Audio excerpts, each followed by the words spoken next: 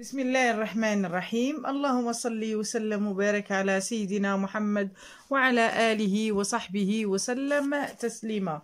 تنتمنى اللي تيشوف هذا الفيديو. يكون بخير وعلى خير وبصحة جيدة. تنشكر الناس اللي تيدعموا هاد القناة من بعيد ومن قريب. تنقول لهم شكرا جزيلا. إن شاء الله بحول الله وقوته غادي نوضع واحد الوصفة خاصة بالناس اللي عندهم الأطفال آه ما تيركزوش في الدراسة وما تيكونوش إيجابيين في الامتحان. ولكن اليوم إن شاء الله بحول الله وقوته. غادي نوضعوا واحد الصيغة زوينة اللي حقات مع بزاف الناس آه نتيجة إيجابية وكانت مجربة مع بزاف الناس. اذا بحول الله وقوته اليوم غادي نوضع هذه الوصفة ولكن الأم هي اللي خاصها تخدم هذه الوصفة وتكون ذكية مع ولدها وتكون إيجابية مع ولدها. أول حاجة تقرب ولدها ليها وتفهم الوضع ديالو ديال الدراسة أشنو المشكل؟ أش من مادة ضعيف فيها؟ أه وتعاونوا أه إما تعاونوا في الدار أو تزيد لي هذيك المادة اللي ضعيفة اللي ضعيف فيها أو ضعيفة فيها.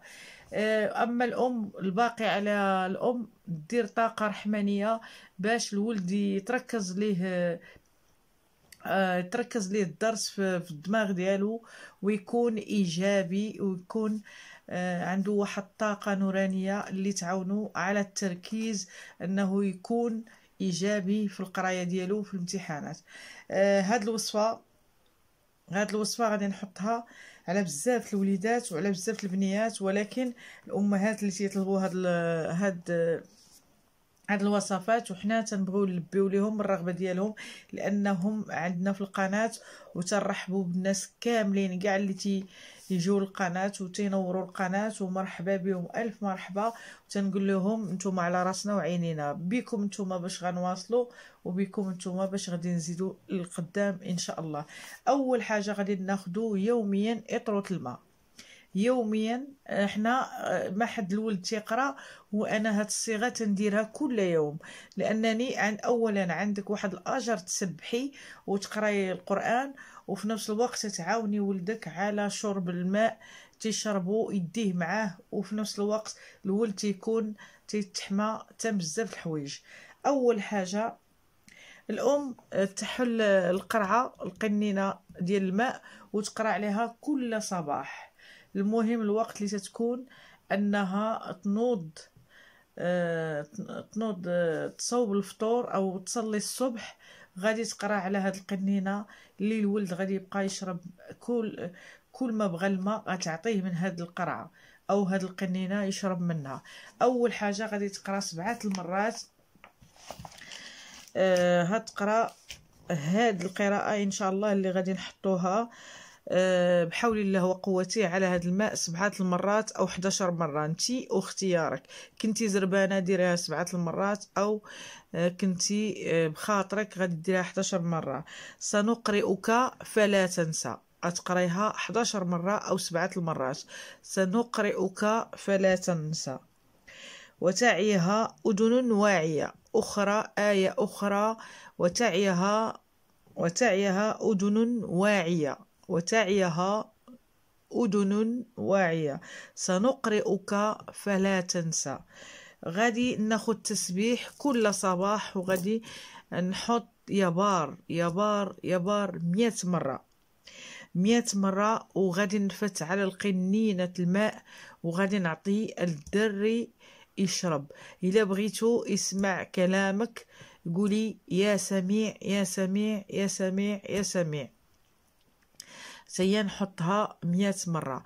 ونقدر هاد الماء نقراه في الليل ونعطيه لولدي يشربه ولكن انتي صلاة الصبح أو صلاة الفجر فيها واحد الطاقة رحمانية اللي تضيف فيها لولدك. وتا قراءة الليل في منتصف الليل تكوني تصلي ركعتين وتطلبي مع وليداتك يسهل عليهم الله. تهي جيدة بإذن الله الواحد القهار. إذا بحول الله وقوته هاد الوصفة صالحة للوليدات وصالحة ل باش تعاوني ولدك لأنك طلبتيها أو طلبوها بزاف الناس.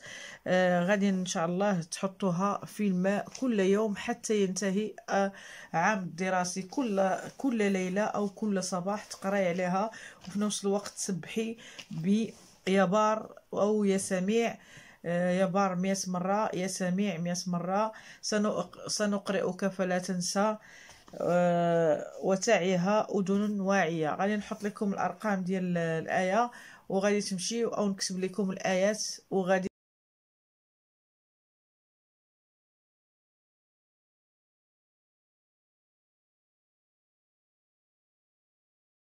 إن شاء الله تقراوهم على ماء وتشربوهم وبحول الله وقوته لها فضل كبير على بزاف الناس ونجحوا بزاف الناس وكانت لها مفعول كبير على بزاف الوليدات وربي سهل عليهم في الدراسة وسهل عليهم في آه، التجاوب مع الدراسة. اذا احبابي في الله يبقى لي غير نقول لكم حاولوا تدعموني في القناة الثانية وحاولوا تدعموني في هذه القناة.